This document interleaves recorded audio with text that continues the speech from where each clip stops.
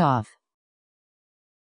And we are talking about women's football and women's sport in general. We've got a message here from Lacey, who's listening in Illinois in the US. Uh, she says, I think there are still a lot of challenges that women face in sports, like unequal paying conditions, playing conditions, and unequal treatment of players and unequal rights. Uh, pay is another big challenge as well, and the US women's team are actually fighting for these rights.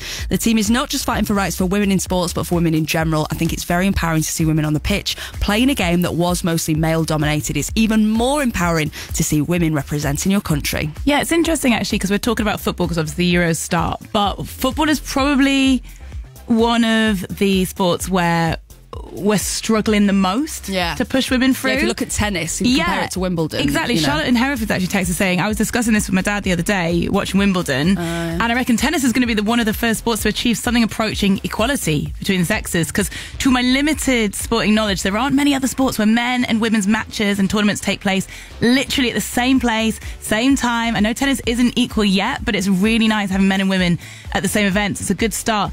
You know, we'll have reached like equality when you don't have to preface it, the sports name, with men's or women's, or you do because they're both the same, like men's tennis, women's tennis. Yeah. As opposed to in football, you have football and then women's football. And actually, for someone who's not into sport like me, like you know, you, your go-to um, people that you think of. So if someone said to me, "Name a footballer," I'd go Ronaldo.